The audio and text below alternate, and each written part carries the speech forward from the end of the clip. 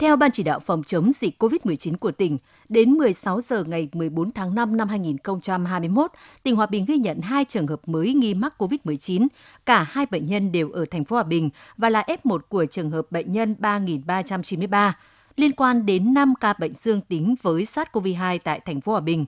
Các địa phương đã truy vết và cách ly 395 trường hợp F1, trong đó đã có 395 mẫu âm tính lần 1 với SARS-CoV-2.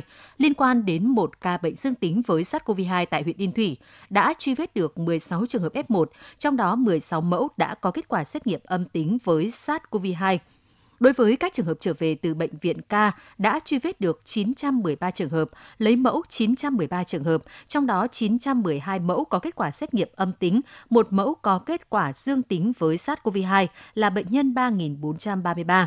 Hiện nay các địa phương đang tiếp tục truy vết các trường hợp F1, F2 để thực hiện cách ly theo quy định. Tính từ ngày 9 tháng 5 đến nay, tỉnh Hòa Bình đã ghi nhận 6 trường hợp dương tính với COVID-19.